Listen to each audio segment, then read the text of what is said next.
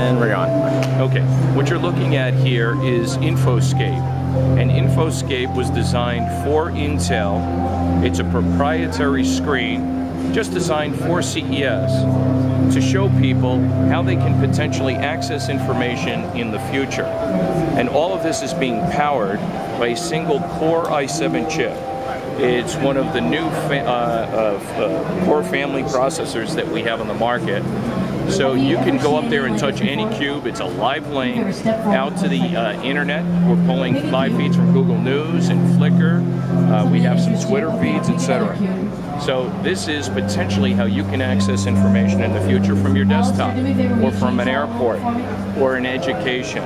Again, this is just Intel's commitment to research. Everybody knows this as a great manufacturing company, but this is this is really um, really of interest to us how people are going to access information in the future.